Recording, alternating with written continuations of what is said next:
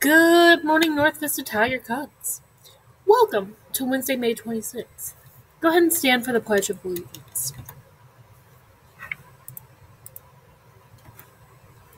I pledge allegiance to the flag of the United States of America and to the republic for which it stands, one nation, under God, indivisible, with liberty and justice for all. Please remain standing for a moment of silence.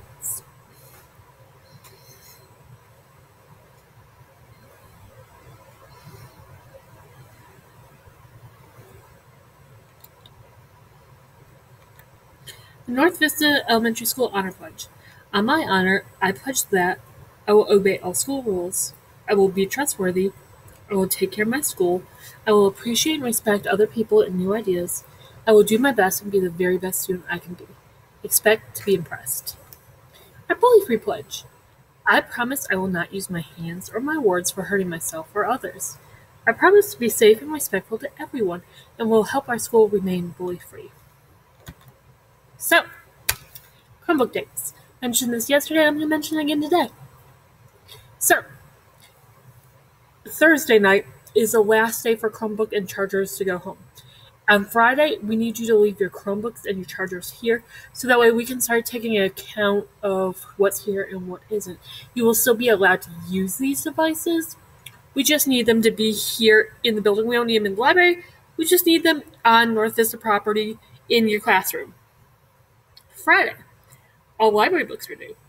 Thank you to everyone. We've done, we've had a really good job of everyone um, supporting us in this and calling to find out how much your books owe and all that. And I really appreciate it. So thank you for the good work there. Chromebook take ups on June 7th, which is sixth grade graduation, if I remember correctly. Sixth grade, feel free to correct me if I got that wrong. Um, fourth through sixth grade, you will be turning in your Chromebooks. June 8th, kindergarten through third grade face to face, you all will be returning in your Chromebooks. Then, June 9th, this is when virtual, when y'all get the turn, um, is Chromebook Collection Day for virtual. On that Wednesday, from 7 a.m. to 3 p.m., you can drop off your Chromebook, or 5 to 7 p.m., you can drop off your Chromebook.